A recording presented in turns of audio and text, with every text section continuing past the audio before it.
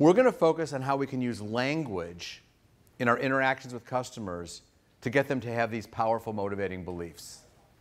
Now, let's face it, you know, language, something we use in our marketing and sales all the time. But I think what we'll see is that most of the ways we use language in sales and marketing isn't really that effective. Think of this.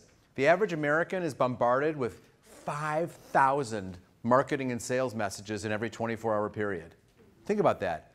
So last 24 hours, you've been seeing banner ads, and maybe if you watch TV, there's some commercials, if you read a magazine, et cetera. Of those 5,000 messages you were exposed to yesterday, how many do you remember? How many motivated you to buy something?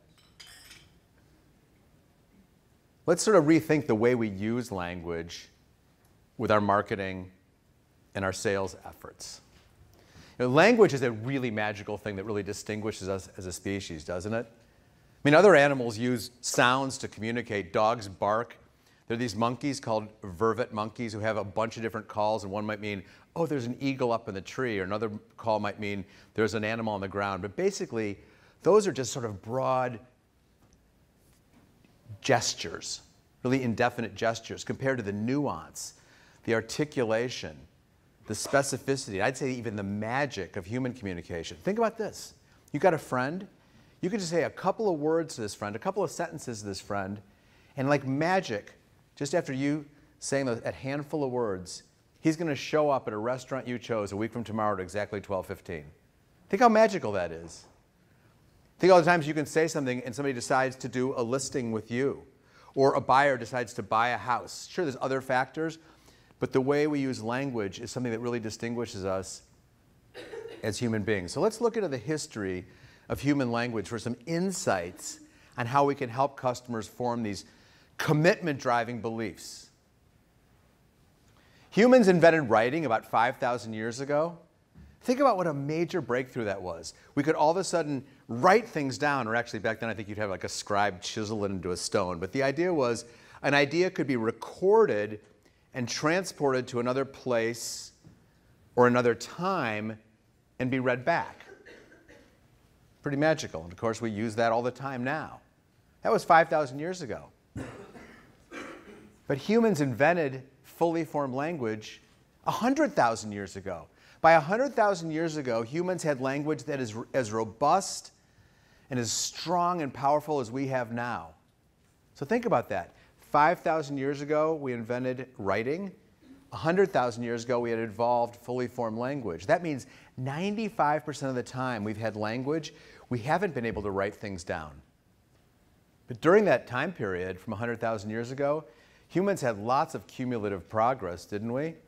We invented cultures and technologies, led to civilization and agriculture, which came like more than 10,000 years ago before we had writing. So, how did we do it? How do we have this cumulative progress when we couldn't write things down? How did, as a group, did we remember things to create cultural memory and progress?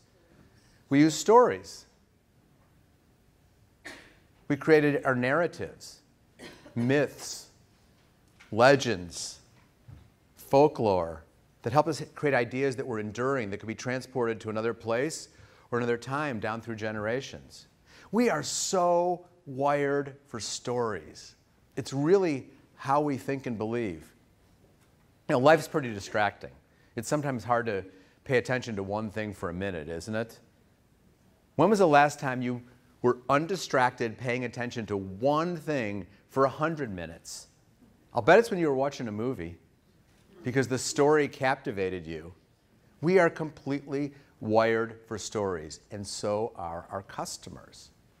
We have this tendency to think that if we just show a bunch of bullet points to a customer or explain something and some facts, no matter what kind of personality they have, they're going to get it. And sure, some people embrace facts more, but all those bullet points, all those proof points really only resonate with the customer and motivate them if it fulfills the narrative they've got in their mind.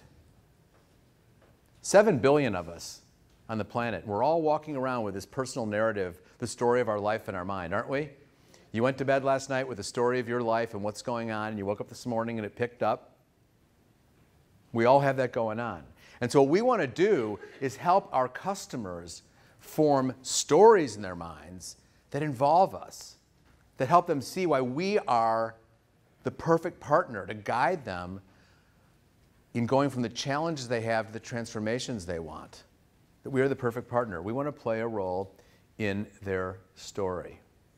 Now let's think about this.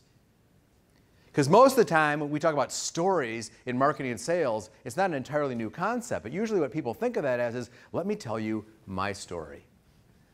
Let me be a good salesperson to explain the story to you. Or let me have my website. Click that About Us page and you're going to see my story. Well, I have some tough news for all of us here. I hate to share, I hate to share this. Anybody, anybody faint easily? If you do, take a sip of water because I got some really tough news to share, okay? Your customers don't really care about your story. Who do your customers care about more, you or themselves? Of course, they care about themselves.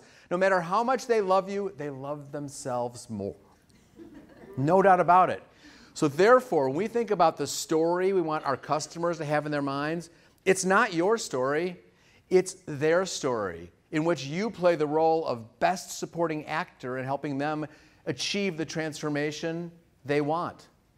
It's not your story, it's theirs. You are not the hero of this story. In this story, you want your customers to believe you're not the hero. You know, think of it this way you're not Luke Skywalker, you're Yoda. You're the guide, the perfect partner to help your customer achieve what they want. I mentioned a moment ago that all 7 billion of us on the planet, we have that, that narrative going on in our mind, don't we? We all do. So think about it. Here's your customer with this life narrative they're living with all day long, their story of their life. And here's your story out here. Do you want them to try to jump out of their mind and embrace your story and go, wow, that's really hard for them to do. They're living in this story all day long. How about instead of making them jump out of their personal narrative and embrace your story, we figure out how to bring your story into their mind? We get them to a point where when they think about what they're trying to accomplish, they can't imagine doing it without you because we've woven the stories together. We've created a shared story inside their mind.